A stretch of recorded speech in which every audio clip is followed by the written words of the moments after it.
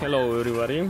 Today I have this 2010 Freightliner Cascadia. This Freightliner Cascadia is having issues with the regen. As you can see the stop light, check engine light and the regen light stay on. They don't go away. If I perform a regen, the regen is cancelled. And we have the code active here, soot level very high. So meanwhile the regen is in progress.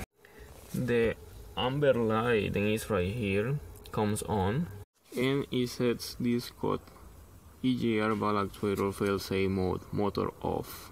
So this code means then the EGR actuator goes in override mode which is in close position. So the EGR actuator is this one right here. So I will be replacing the EGR actuator so I'm going to make a different video to show you how to replace a EGR actuator on a DD15 engine.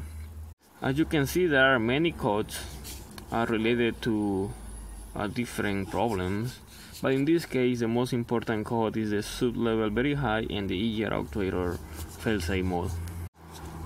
So this is all I'm going to show you right now. If you have any questions about this video please comment below and I'll try to answer as soon as I can. Please like the video, share, subscribe and thank you for watching.